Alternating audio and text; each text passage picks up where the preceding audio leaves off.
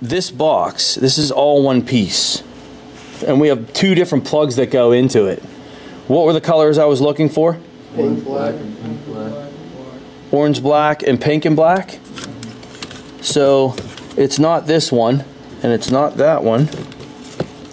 It's right here.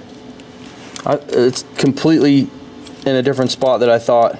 Um, it's this part. Look, there's your door lock switches. Okay, flip it over. I should have just done that. You see, this is actually a a a four pin, and what we have is a it's that purple and white, black, orange, black, and then there's my pink black. Okay, um, what we can do is I'm going to ground my voltmeter do a voltage measurement first. We said these are pull down design circuits, right? Based on the on the wiring diagram, these are pull down designs. That's the one signal. So it's 11 volts. We said it was pull down design. That would make sense with the switch in the open position. That's the orange black, and then the pink black would be the other wire.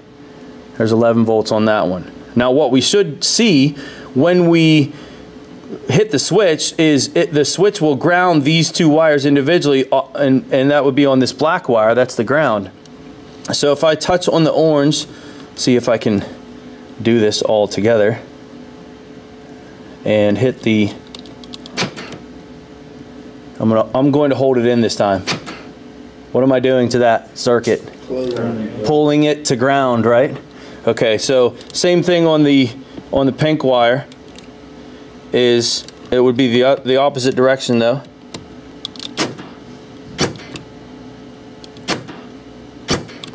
Okay, pull down circuit. As far as the ground test goes, might as well show you this because we're here. We're doing a ground to ground voltage drop test. I'm just putting my my meter on the ground wire now. And this is not a good test until we load the circuit. Loaded circuit be close the switch and see it went to 0.08 right there for a second. Uh, 0.02. That is a good ground.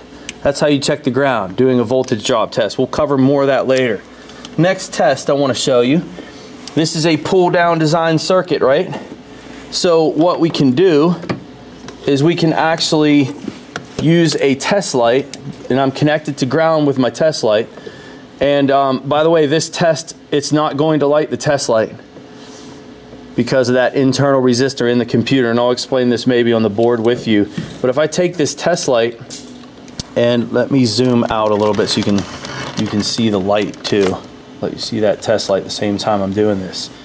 If I take this test light, and I'm completely safe doing this, guys. This is my own truck. I'm not going to hurt it. I promise you, the switch grounds these wires. I'm going to use my test light do the same thing. Watch.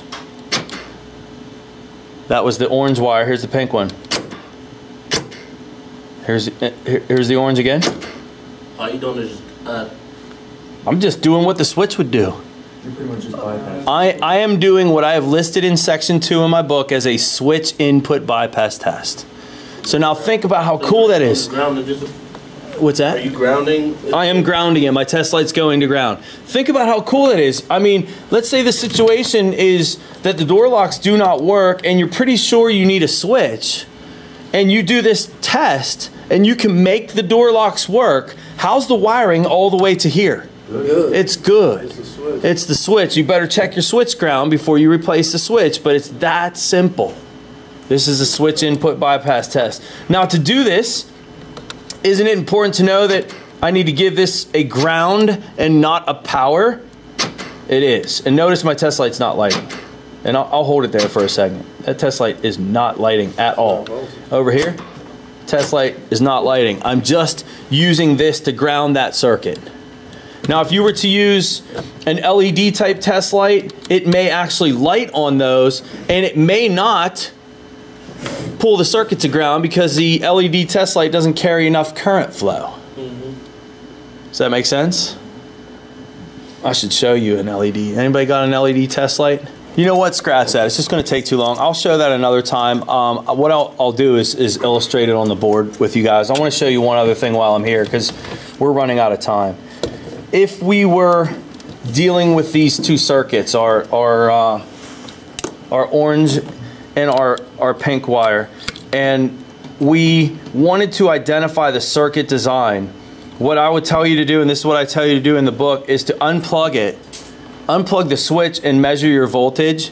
If the voltage is high on the signal wire, then it's a pull down design. So there's identification that's involved here. This one's a little bit tricky because there's two switches that share the same ground, or in other words, two circuits that share the same ground. What it would involve is measuring the voltage levels here and here with the switch open and closed, and then you can make that determination. So let me show you that part on the board uh, because it'll be a little bit easier than showing you that here. And then, uh, and then I'll also show you why that test light didn't light.